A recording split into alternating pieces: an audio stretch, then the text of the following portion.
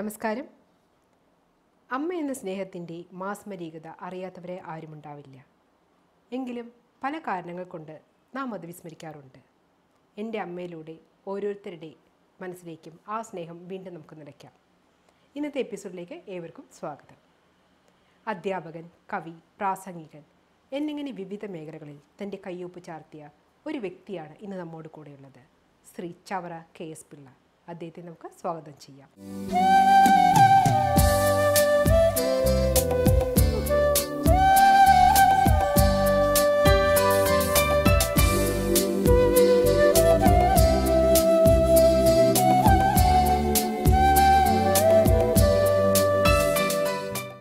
നമസ്കാരം സാർ. പരിപാടിയിലേക്ക് സ്വാഗതം. അമ്മ എന്ന വാക്കിന്റെ മാസ്മരികത സാറിന്റെ മനസ്സിൽ എത്രത്തോളം നിറഞ്ഞു നിൽക്കുന്നു? അമ്മ എപ്പോഴും ആരെ സംബന്ധിച്ചും അമ്മ ഒരു കാരുണ്യ സാഗരമാണ് ദയാമയിയാണ് സർവം സഹയാണ്. എല്ലാം തരുന്ന ഒരു വലിയ മനസ്സിന്റെ ഉടമയാണ് ഒരു സ്നേഹ സാമ്രാജ്യമാണ്. അങ്ങനെ അമ്മയെപ്പറ്റി നമുക്ക് എത്ര പ്രകീർത്തിച്ചാലും മതി വരത്തില്ല ഒരു സർഗപ്രതിഭയ്ക്കും വർണിച്ച് തൃപ്തിപ്പെടാൻ കഴിയാത്ത ഒരു അത്ഭുത പ്രതിഭാസമാണ് ഓരോ അമ്മയും. ഞാൻ പറഞ്ഞ പോലെ ഇപ്പം സ്നേഹമാണ് നന്മയാണ് കാരുണ്യമാണ് ദയാവാരിധിയാണ് വെളിച്ചമാണ്. ഈ പ്രപഞ്ചം തന്നെയാണ് അമ്മ. ഇപ്പോൾ ഒരു വിദ്യ ഒരു കുഞ്ഞിന്റെ ആദ്യത്തെ അധ്യാപികയാണല്ലോ അമ്മ. ഇപ്പോൾ സാറിന്റെയും ആദ്യത്തെ അധ്യാപിക അമ്മ തന്നെയായിരിക്കും. തീർച്ചയായും. അപ്പം ആ അമ്മയെക്കുറിച്ചും അമ്മയുമായിട്ടുള്ള സാറിന്റെ ആ അനുഭവങ്ങൾ അതൊന്ന് പങ്കുവയ്ക്കാമോ അമ്മ എന്റെ ഓർമ്മയിൽ അമ്മയുടെ കയ്യിൽ തൂങ്ങി നാട്ടാശാന്റെ വീട്ടിൽ ഈ ചുരുങ്ങി കരഞ്ഞ് പോയ ആ ഒരു ശൈശവ അവസ്ഥ. നമ്മുടെ വീടിന്റെ തൊട്ടടുത്തുള്ള പുതുവീട്ടിൽ ഗോപാലക്കുറുപ്പ് സാറിന്റെ വീട്ടിലേക്ക് അമ്മയുടെ കയ്യിൽ തൂങ്ങി ചുണങ്ങി കരഞ്ഞ് കൊണ്ടുപോയി ആദ്യാക്ഷരം കുറിച്ച് ആ മുഹൂർത്തം മുതൽ എന്റെ ഏതാണ്ടൊരു ഹൈസ്കൂൾ വിദ്യാഭ്യാസത്തിന്റെ ഘട്ടം വരെ എല്ലാ തലങ്ങളിലും എല്ലാം തന്ന എല്ലാ സ്നേഹവും തന്ന ഒരുപാട് കഷ്ടപ്പാടുകൾ സഹിച്ച ഒരു ഒരർത്ഥത്തിൽ ഒരു ത്യാഗിനി എന്ന് പറയാം. പ്രതികൂലമായ ഒരുപാട് സാഹചര്യങ്ങളിൽ കഷ്ടപ്പാടുകളിൽ എന്റെ നന്മയ്ക്ക് വേണ്ടി അമ്മ സഹിച്ചിട്ടുള്ള ദുഃഖം ഒക്കെ അന്നെനിക്ക് മനസ്സിലായില്ലെങ്കിലും ഇന്ന് തിരിഞ്ഞു നോക്കുമ്പോൾ മനസ്സിലെപ്പോഴും അമ്മ ഒരു സ്നേഹ ദുഃഖമാണ് ഇപ്പം നമ്മുടെ ഒരു കുഞ്ഞ് ഒരു വ്യക്തിയുടെ സ്വഭാവവിശേഷങ്ങളിൽ അച്ഛന്റെയും അമ്മയുടെയും കുറേ സംഭാവനകളുണ്ട്. അപ്പോൾ സാറിന്റെ സ്വഭാവത്തിൽ അമ്മയുടേതായ സംഭാവനകൾ എന്തൊക്കെയാണ്? തീർച്ചയായും ഏതൊരു കുട്ടിയുടെയും സ്വഭാവ രൂപീകരണത്തിൽ കാര്യമായ സംഭാവനയും സ്വാധീനവും ചെലുത്തുന്നത് അമ്മയാണ്. എന്നെ സംബന്ധിച്ച് എന്റെ കുട്ടിക്കാലത്ത് എന്റെ വീട്ടിന്റെ സാഹചര്യങ്ങളിൽ.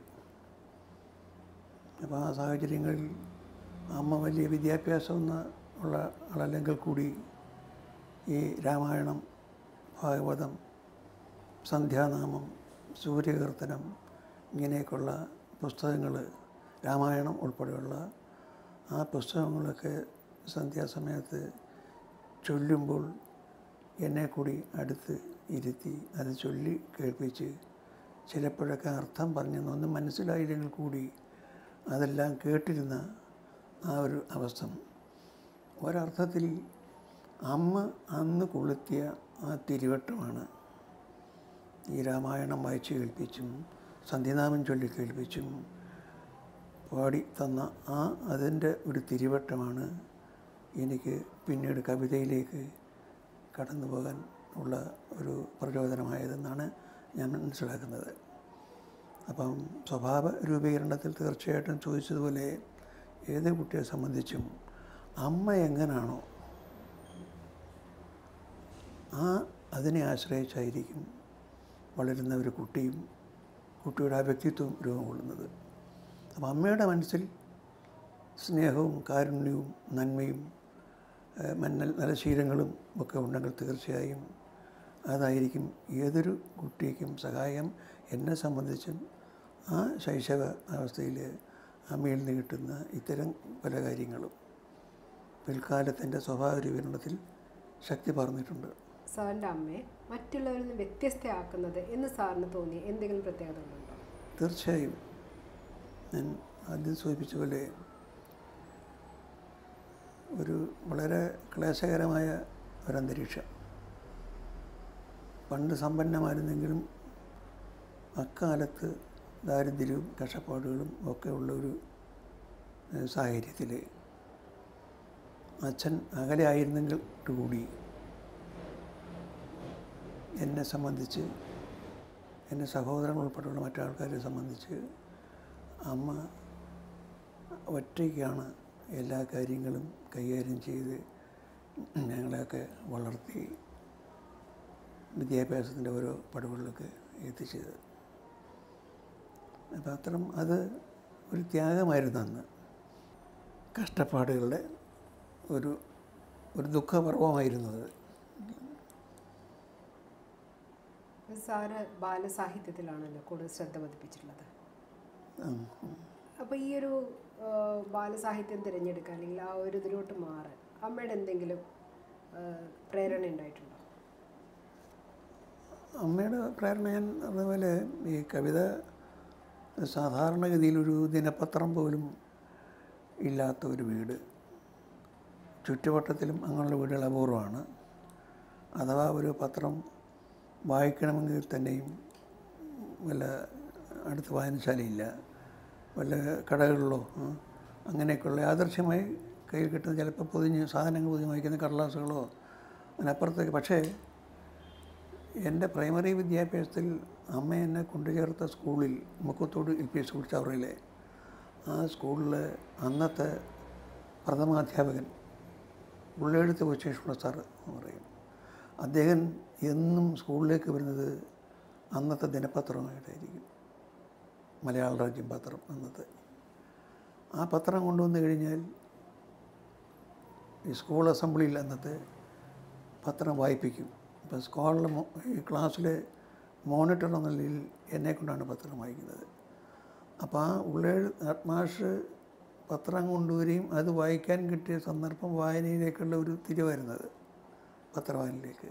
പിന്നെ പുസ്തകങ്ങളില്ല അപ്പോൾ വായനയുടെ തിരി കൊളുത്തിയത് വീട്ടിൽ അമ്മ ചൊല്ലിക്കേട്ട ഈ കീർത്തനങ്ങളുടെ അല്ലെങ്കിൽ കഥകളുടെ പറഞ്ഞു കേട്ട കഥകളുടെ ഒക്കെ ഒരു സ്വാധീനത്തിൽ പിന്നീട് ഈ വായനയുള്ള അല്പം വന്നപ്പോഴത്തേക്ക് വായനയുടെ ഒരു അപ്പം ഞാനുണ്ട് മിഡിൽ സ്കൂളിൽ എത്തുമ്പോൾ തന്നെ എനിക്കകത്ത് ആ ഒരു വായനയിൽ നല്ല താല്പര്യമുണ്ടായി. ചിലതൊക്കെ ഈ ഗണപതിക്കുറിപ്പ് എന്ന് പറയുന്ന പോലെ കുത്തിക്കുറിക്കാനും കഴിയും.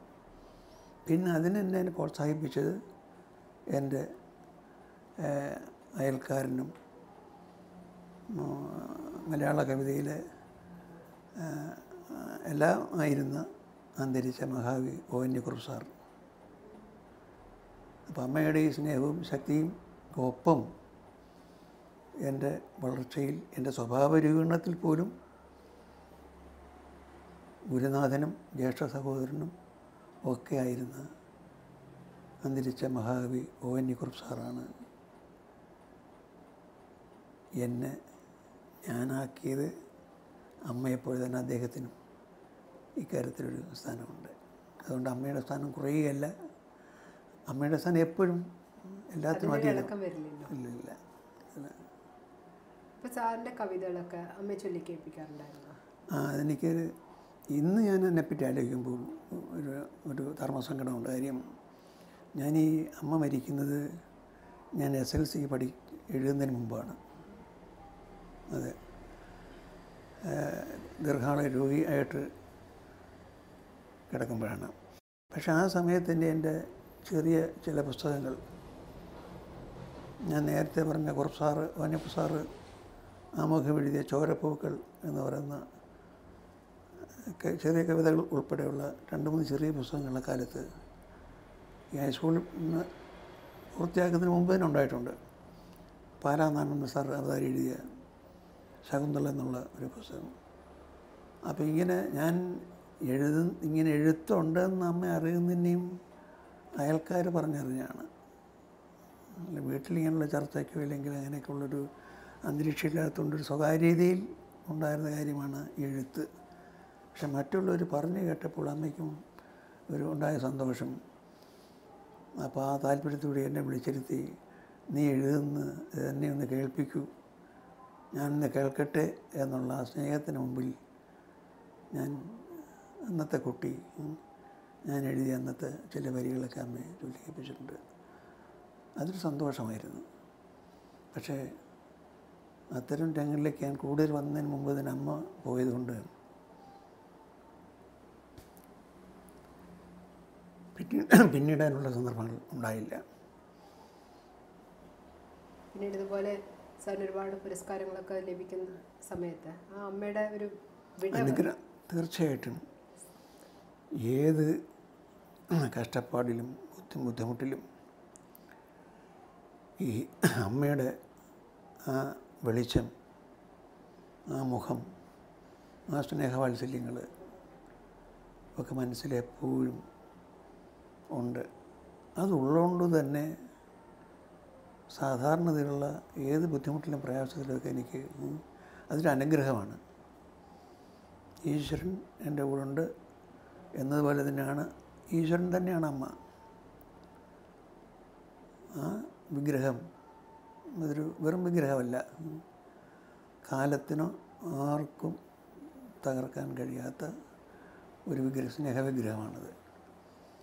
ആ വിഗ്രഹത്തിന്റെ അനുഗ്രഹം തുടക്കം മുതൽ ഇന്നോളം എനിക്ക് ഉണ്ടായിട്ടുണ്ട് ഉണ്ടായിക്കൊണ്ടിരിക്കുന്നു. അതുകൊണ്ടാണ് ഞാൻ ഒരുപാട് കവിതകൾ എഴുതിയിട്ടുണ്ടെങ്കിലും പത്ത് മുപ്പത് പുസ്തകങ്ങൾ പ്രസിദ്ധീകരിച്ചിട്ടുണ്ടെങ്കിലും എന്റെ കവിതയുടെ ചില കവിതകളുടെ അന്തർധാര അമ്മയുടെ സ്നേഹവും വാത്സല്യവും കാരുണ്യവും ആണ്. നഷ്ടബോധവും നഷ്ടബോധം വളരെ വലുതാണ് അന്നൊരു രോഗിയായി കിടന്ന സമയത്ത് വിദ്യശാസ്ത്രത്തിന്റെ അമ്പതുകളെന്ന് പറയുമ്പോൾ ഇന്നത്തെ അത്രയും ഡെവലപ്മെന്റ് അല്ലല്ലോ. പക്ഷെ എങ്കിൽ പോലും നല്ല ചികിത്സ കിട്ടാമായിരുന്ന സാഹചര്യങ്ങൾ ഉണ്ടെങ്കിൽ പോലും അത് കൊടുക്കാൻ കഴിയാതെ വന്നതിൽ നിസ്സഹായതയുള്ള കുറ്റബോധം.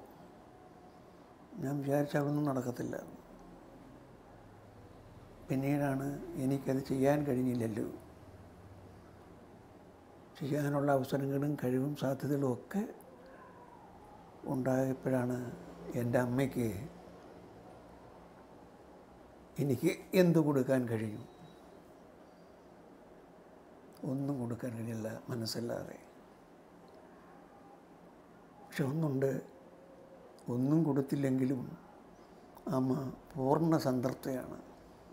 പോലെ ഒന്നും കൊടുക്കാൻ പറ്റിയില്ല എന്നുള്ളത് ഒരു കാര്യം. പക്ഷെ ഇന്ന് എല്ലാം കൊടുക്കാൻ പറ്റുന്ന സാഹചര്യം ഉണ്ടായിട്ടും ആ അമ്മമാരെ തള്ളിക്കളയുന്ന ഒരു സമൂഹത്തിലേക്കാണ് നമ്മൾ പോകുന്നത് തീർച്ചയായിട്ടും ഇന്ന് ഞാൻ അതിനെപ്പറ്റി തന്നെ പല കവിതകൾ എഴുതിയിട്ടുള്ളത് ഇത്രയും എല്ലാം ജീവിതത്തിലെല്ലാം കൊടുത്ത്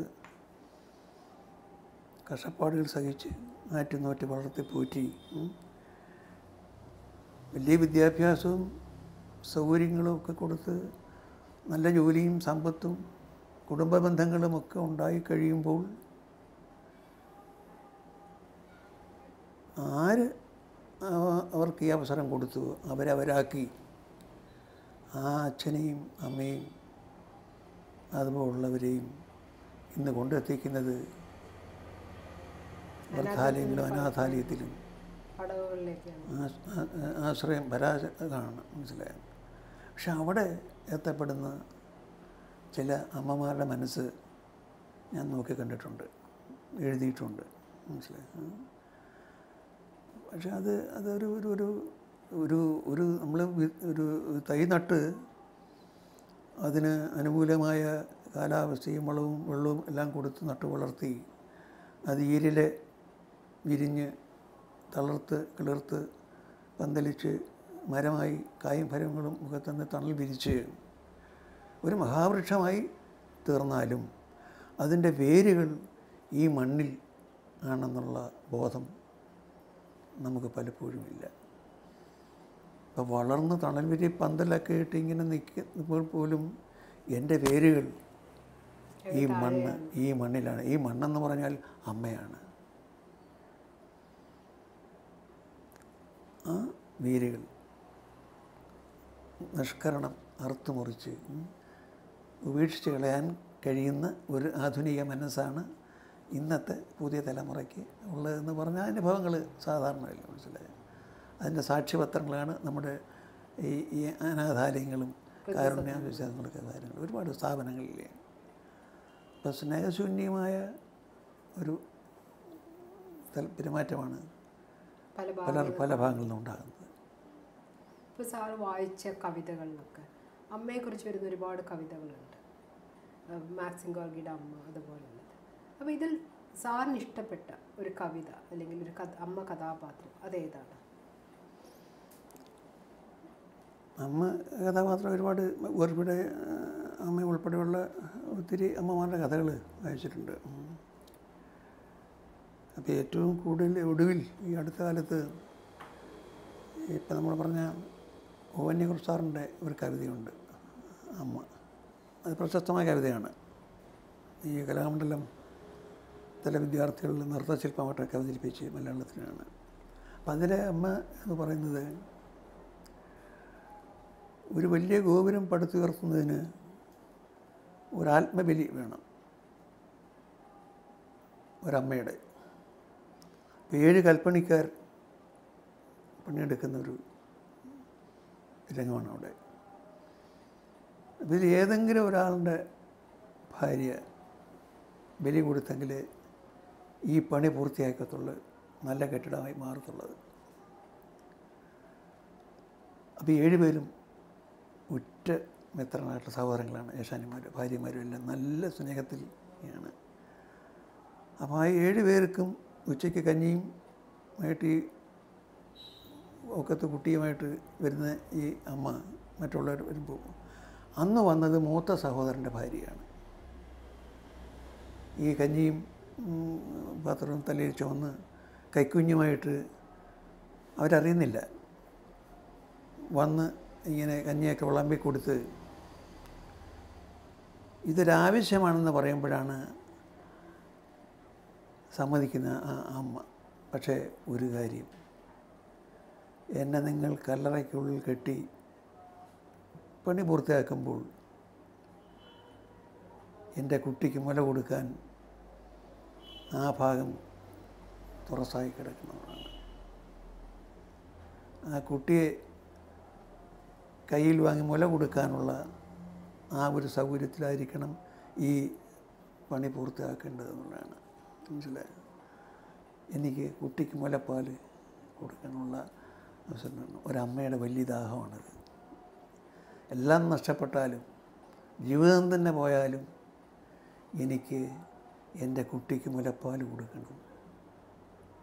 അതൊരമ്മ ഇന്ന് മുലപ്പാൽ കൊടുക്കാത്ത അമ്മമാർ ഉണ്ടാകാം അത് വേറെ കാര്യം പക്ഷേ പിന്നെ അപ്പോൾ ഒരു അമ്മയുടെ ഒരു ചിത്രമാണത്. ഇതുപോലെ പിന്നെ ജീവിതത്തിൽ വളരെയധികം ഇന്ന് പൊള്ളലുകളേറ്റ മനസ്സ് വേദനിച്ചിട്ടുള്ള ഒരുപാട് അമ്മമാർ ഈ കഥകളിലായാലും കഥകളിലായാലും നോവലുകളിലൊക്കെ ആയിട്ട് നമ്മൾ കാണാം പക്ഷെ ആ അമ്മമാരെല്ലാം തന്നെയും അവരെ അമ്മയാക്കി തീർത്തത് എന്ന് പറഞ്ഞാൽ സാധാരണ പ്രസവിക്കുന്നതുകൊണ്ട് മാത്രം ഒരിക്കലും ഒരു സ്ത്രീ അമ്മയാകില്ല. എന്നാൽ സാധാരണ നമ്മുടെ സങ്കല്പം എന്താ? പ്രസവിച്ചു കഴിഞ്ഞാൽ അമ്മയാണെന്നുള്ളതാണ്. അതൊരർത്ഥത്തിൽ ശരിയാണ് പക്ഷേ പ്രസവിക്കുന്നുവെങ്കിൽ കൂടി ആ സ്ത്രീ യഥാർത്ഥത്തിൽ അമ്മയാകണമെങ്കിൽ തന്റെ കുട്ടിയോട് കുട്ടിക്ക് ഒരമ്മയെന്നുള്ള രീതിയിൽ തന്റെ ധാർമ്മികമായ കടമകൾ. എന്തുമാത്രം ചെയ്യാൻ കഴിഞ്ഞു കൊടുക്കാൻ കഴിഞ്ഞു അത് പരിഗണിക്കുമ്പോഴാണ് പ്രസവിച്ചെങ്കിലും നീ അമ്മയാണോ അല്ലയോ എന്ന് തീരുമാനിക്കാൻ കഴിയുന്നത് എന്നാണ് ചില പറഞ്ഞ് നമ്മൾ മനസ്സിലാക്കിയിട്ടുള്ളത്. അപ്പോൾ അങ്ങനെയുള്ള യഥാ അമ്മമാർ മനസ്സിലായി? അപ്പോൾ അമ്മമാർ അവർ ഒന്നും കിട്ടിയില്ലെങ്കിൽ എല്ലാം കൊടുക്കുന്ന കൊടുക്കുന്നൊരു മനസ്സ്. തിരിച്ചൊന്നും പ്രതീക്ഷ തിരിച്ചൊന്നും പറഞ്ഞില്ല ഒരമ്മയും എനിക്ക് നാളെ ഇവൻ അല്ലെങ്കിൽ ഇവൾ എന്നെ പോറ്റിക്കൊള്ളും തരുന്നുകൊള്ളും എന്ന് വിശ്വസിക്കത്തില്ല. പക്ഷെ കൊടുത്തു പോകും പക്ഷെ കൊടുത്തു കഴിയുമ്പോൾ അവസാനം വരുമ്പോൾ അനുഭവം ഈ രീതിയിൽ വന്ന് ഭവിക്കുന്നത് മാത്രമേ ഉള്ളൂ. ഇന്നിപ്പോൾ മക്കളുടെ ഒരു സ്നേഹത്തിൽ വാർദ്ധക്യം കഴിയുക എന്ന് പറഞ്ഞാൽ ശരിക്കും ഒരു അനുഗ്രഹമായി ഭാഗ്യമായി മാറിയിരിക്കുക തീർച്ചയായിട്ടും. ഏതെങ്കിലും ഒരു അമ്മയ്ക്കോ അച്ഛനോ അപ്പൂപ്പനോ അമ്മമ്മയ്ക്കോ തങ്ങളുടെ മക്കളിൽ നിന്നോ കൊച്ചുമക്കളിൽ നിന്നോ ഇക്കാലത്ത് അല്പമെങ്കിലും സ്നേഹം കിട്ടുന്നുണ്ടെങ്കിൽ അതൊരു വലിയ ഈശ്വരാനുഗ്രഹമാണ്. പണ്ടത്തെ അമ്മമാർക്ക് വിദ്യാഭ്യാസം കുറവുണ്ടെങ്കിലും പക്ഷെ അവർക്ക് പ്രായോഗിക ജ്ഞാനം കൂടുതലാണ്. അതായത് സ്കൂൾ പറ്റിച്ച് അന്ന് നാലോ അഞ്ചോ ക്ലാസ്സിലൊക്കെ പോയ വീട്ടമ്മമാർ ആ കാലത്ത് ഇല്ലാത്തവരുണ്ട്. ധാരാളം പക്ഷേ എങ്കിൽ പോലും ഒരു വിദ്യാഭ്യാസവും ഇല്ലെങ്കിൽ അവർക്ക് ജീവിതത്തിന്റെ വിദ്യാഭ്യാസം ഉണ്ടായിരുന്നു. അനുഭവങ്ങളുടെ ജീവിതാനുഭവങ്ങളുടെ വിദ്യാഭ്യാസം. അത് വലിയ വലിയ വലുതാണത്.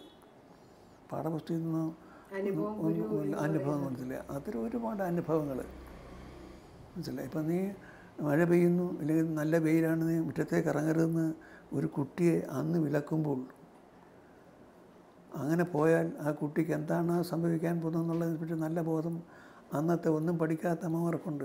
പക്ഷെ അവരെ പഠിപ്പിച്ചാൽ പ്രകൃതിയും അന്നത്തെ ജീവിതമാണ് മനസ്സിലായി? അപ്പം അങ്ങനെ ഒരുപാട് മാറ്റങ്ങളുണ്ട്. ആ അർത്ഥത്തിൽ ഇന്നത്തെ വിദ്യാസമ്പന്നങ്ങളായ അമ്മമാരെക്കാൾ പഴയ കാലത്തെ പിന്നെ നിരക്ഷര കുട്ടികളെന്ന് പറഞ്ഞ പറയുന്ന ആൾക്കാരായാൽ പോലും യഥാർത്ഥത്തിൽ അവർ അമ്മമാരായിരുന്നു. എല്ലാ അർത്ഥത്തിലും. സാർ എഴുതിയ കവിതകളിൽ അമ്മയെക്കുറിച്ച് ഉള്ള കവിതകളുണ്ടോ? അമ്മയെപ്പറ്റി ഉള്ള പല കവിതകൾ എഴുതിയിട്ടുണ്ട്. അമ്മയിലൂടെ തന്നെ മറ്റ് പല അമ്മമാരെ പറ്റിയും ആ കവിതയിൽ എഴുതാൻ കഴിഞ്ഞിട്ടുണ്ട്. അപ്പോൾ എന്റെ അമ്മ എന്റെ മനസ്സിൽ എന്താണോ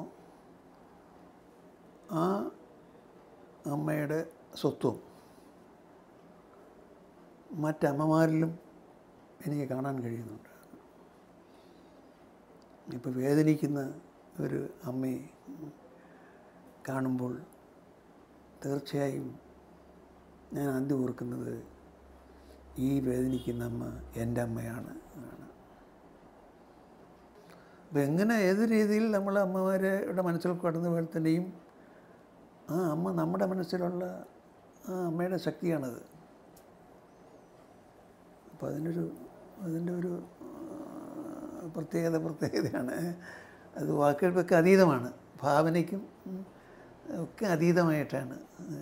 മനസ്സിലായത് അപ്പോൾ ഒരു ഒരു സർഗപ്രതിഭയ്ക്കൊരിക്കലും വർണിച്ച് തൃപ്തിപ്പെടാൻ കഴിയാത്ത അപ്രമേയമായ ശക്തിവിശേഷമാണെന്നുള്ളൊരു കവിതയാണ് ചെറിയൊരു കവിതയിൽ ഈ പ്രത്യേകം പറഞ്ഞിട്ടുള്ളത്. എന്താ കവിത ഒന്ന് ചൊല്ലിത്തരാമോ? പിന്നെന്താ? ഈ കവിതയുടെ പേര് സ്വത്വം എന്നാണ് അമ്മയുടെ സ്വത്വമാണ്. സർഗപ്രതിഭകളെത്ര വർണിക്കലും ഒട്ടും മതി വരാ തണ്ടകടാഹമി. അപ്രമേയോജ്വലശക്തി പ്രവാഹമേ അക്ഷയപാശം സ്നേഹപ്രദീപമേ. വറ്റാ തുറവയാം വാത്സല്യപൂരമേ. തപ്താശുമായിക്കുന്ന കാരുണ്യവാരിതേ. സർഗപ്രതിഭകളെത്ര വർണിക്കലും ഒട്ടും അതിവരാത്തണ്ടകടാഹമേ. അപ്രമേയോജ്വലശക്തി പ്രവാഹമേ അക്ഷയവാസഴും സ്നേഹപ്രദീപമേ. വറ്റാ തുറവയാം വാത്സല്യപൂരമേ. തപ്താശ്രമായിക്കുന്ന കാരുണ്യവാരിതേ. അമ്മേ ദയാമയി നന്മകൾ പൂക്കുന്ന നിന്മനം നന്മനം എത്ര സമ്മോഹനം അമ്മേ ദയാമയി നന്മകൾ പൂക്കുന്ന നിന്മനം നന്മനം എത്ര സമ്മോഹനം നീയല്ലേ ആദ്യമായി നിൻ ജീവരക്തത്തെ ജീവാമൃതമാക്കി എൻ ചുണ്ടിലിറ്റിയോൾ നീയല്ലേ ആദ്യമായി നിൻ ജീവരക്തത്തെ ജീവാമൃതമാക്കി എൻ ചുണ്ടിലിറ്റിയോൾ നീയല്ലേ എന്നുള്ളിൽ ആദ്യമായ ഊഷ്മള നിർമ്മമ സ്നേഹത്തിരിയരീച്ചവൾ നീയല്ലേ എൻ പിഞ്ചു കൈ പിടിച്ചാദ്യമായി ഈ നല്ല മണ്ണിലൻ ചോടുവെപ്പിച്ചവൾ നീയല്ലി എൻ പിഞ്ചു കൈ പിടിച്ചാദ്യമായി ഈ നല്ല മണ്ണിലൻ ചോടുവെപ്പിച്ചവൾ നീയല്ലി എൻ പ്രാണനാളമുണർത്തിയ ബ്രഹ്മവും ജീവനകർമ്മതാളങ്ങളും നീയല്ലി ആറ്റുനോറ്റെന്നെ പുലർത്തിയ സുസ്നേഹമൂർത്തിയാം സർവം സഹാമയി. എന്നാവിലാദ്യമായി പൂവിട്ടൊരക്ഷരം എന്നാവിലാദ്യമായി പൂവിട്ടൊരക്ഷരം അമ്മയാണമ്മൊഴിക്കൊഞ്ചലൻ വൈഖരി. അമ്മ നീയല്ലി നിൻ താരാട്ടുപാട്ടിനാൽ പൊന്നും വയമ്പുമെന്നാവിലിറ്റിച്ചവൾ അമ്മ നീ അല്ലി? നിൻ താരാട്ടുപാട്ടിനാൾ പൊന്നും വയമ്പുവൻ നാവിലിട്ടിച്ചവൾ. അമ്മ നീ അല്ലി? ഇന്നെന്നെ ഞാനാക്കിയ കർമ്മചൈതന്യ പ്രകാണ്ഡവും സ്വത്വവും. അമ്മ നീ അല്ലി? ഇന്നെന്നെ ഞാനാക്കിയ കർമ്മചൈതന്യ പ്രകാണ്ഡവും സ്വത്വവും